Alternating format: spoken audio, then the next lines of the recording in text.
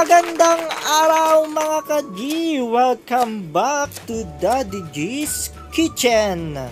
So bago ang lahat, um, don't forget to subscribe. So ngayong araw tayo ay magluluto ng cheesy beef caldereta. Huwag na natin patagalin, simulan na natin ang pagluluto.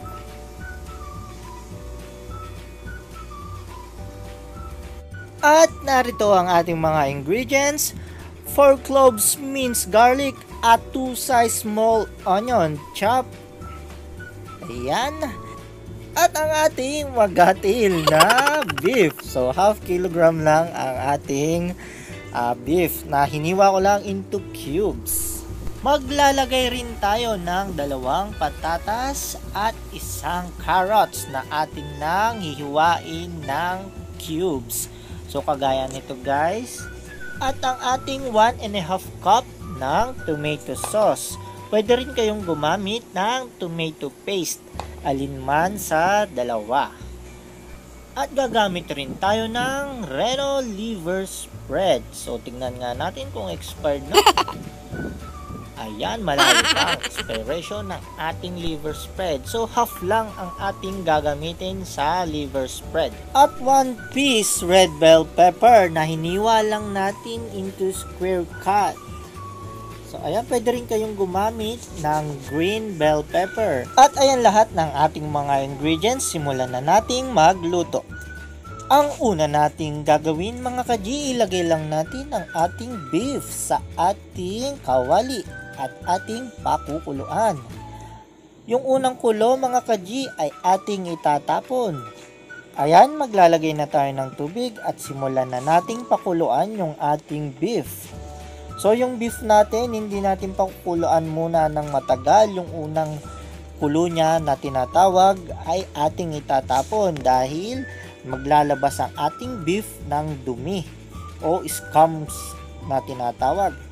So, atin siyang itatapon. So, pinakuluan lang natin siya para uh, malinis. Ayan mga ka-G, kumukulo na.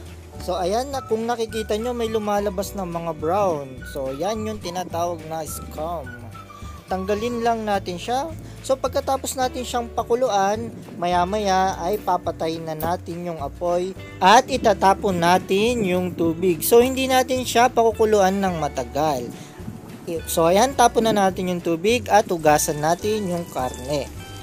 Ayan, nagpainit na tayo ng ating kawali at mainit na yung ating mantika. Simulan na nating magisa. Ilagay na natin ang ating sibuyas. So, yung ating sibuyas ay gigisahin lang natin hanggang sa maging translucent yung kanyang kulay. So, halu-haluin lang natin yung ating sibuyas para hindi masunog. Igisa lang natin siya ng mga ilang segundo. So, pagkatapos natin igisa yung ating sibuyas, ilagay na natin yung ating bawang. At gisahin lang natin ang ating bawang hanggang sa lumambot. Ayan, halu-haluin lang natin guys ang ating sibuyas at ang bawang para hindi masunog. Ayan, at ilagay na natin ng ating beef. So, yung ating beef guys, binanlawan ko muna pagkatapos nating pakuluan para matanggal yung dumi na lumabas sa ating karne. At hindi magkaroon ng aftertaste o bad taste yung ating niluluto. Madalas ko yun ginagawa guys pag beef ang aking niluluto o yung mga pata ng baboy para hindi magkaroon ng aftertaste ang ating niluluto. At igisa lang natin ang ating beef hanggang sa maging light brown. So ayan mga kaji kung nakikita nyo nagiging light brown na yung ating beef. Igisa pa natin ng ilang segundo.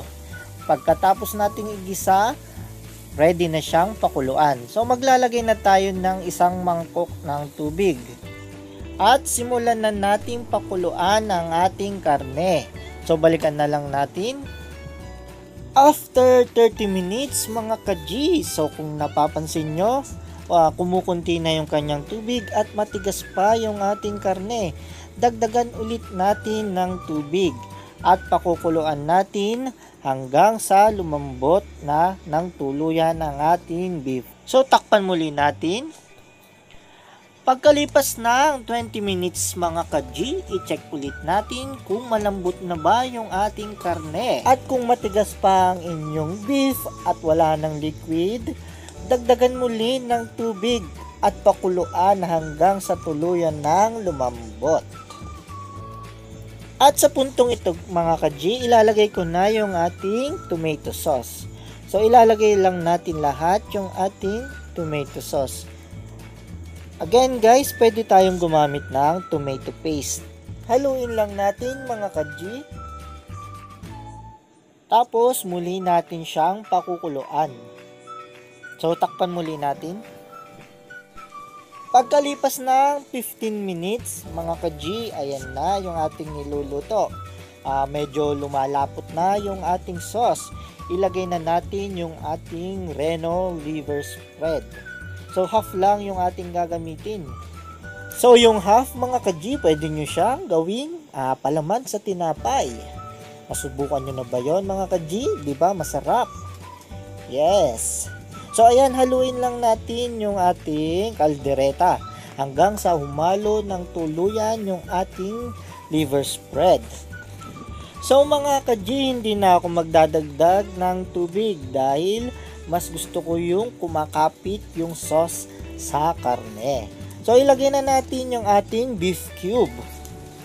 So, isang piraso lang na beef cube ang ating gagamitin. At ihalo natin ng mabuti hanggang sa matunaw yung ating beef cube at tuluyan ng humalo sa ating sauce. So ayan, pabayaan lang natin siya na kumulo hanggang sa ma-reduce pa ng konti yung ating liquid So, hindi na natin siya tatakpan. At sa puntong ito, ilalagay ko na yung carrots at yung patatas. Lutuin lang natin yung ating carrots at patatas hanggang sa lumambot.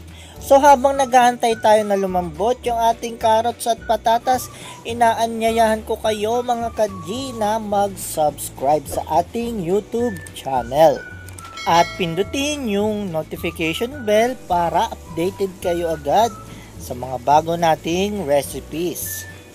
So ayan, ilagay na natin yung ating red bell pepper.